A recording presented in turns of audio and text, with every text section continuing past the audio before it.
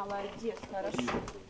Вместо привычных пеших патрулей сегодня на страже правопорядка конная полиция. Сотрудники отправляются в рейд по особо охраняемой природной территории Максимова дача. И делают это не одни. Компанию им составляют их верные товарищи – Донбасс и Добрыня. Донбассу 5 лет, э, Добрыне 6. Это карачаево-черкесская порода. Вот, поскольку они более привыкшие к таким условиям, как дождь, снег, э, камешки какие-то всевозможные, да, то есть э, подъем э, в гору.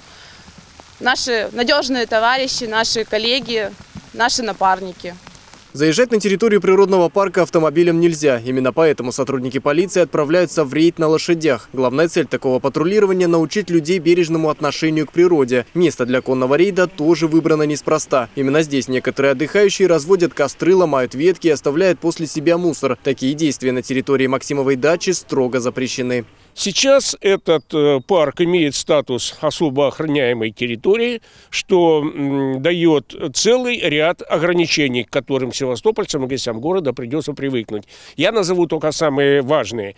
Въезд любого автомототранспорта, разведение костров и разбивка лагерей и организация мест отдыха. Сейчас на территории парка произрастают около 500 видов растений. Из них 38 относятся к краснокнижным. Чтобы сохранить популяцию растительного мира, в ход идут профилактические беседы с нарушителями. Если же они не дают должного результата, инспекторы вправе выписать штраф. В случае выявления нарушения, э, соответственно, накладывается административное наказание в виде штрафа.